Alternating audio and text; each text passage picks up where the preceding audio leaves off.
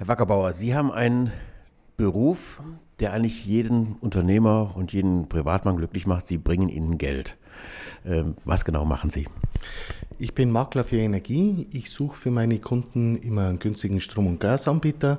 Ich bin dem Energiespardienst 24 angeschlossen, wo wir eben seriöse Anbieter mit dem Programm haben, ausgewählte Anbieter äh, mit sehr, sehr günstigen Preisen wo man eben dann dem Kunden einiges an Geld sparen kann.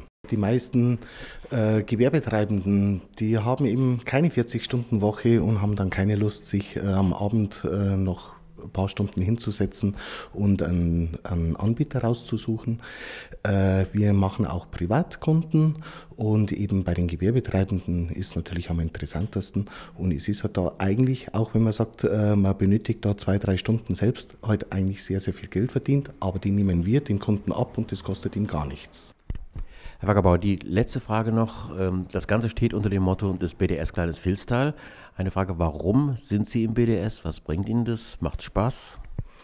Es ist einfach eine schöne Truppe und äh, der BDS ist einfach äh, ja, so eine Interessensgemeinschaft, wo man äh, eben auch wie jetzt mit dem äh, Fernsehspot, äh, wo wir eben gemeinsame Sache machen und es ist auch ein Netzwerk.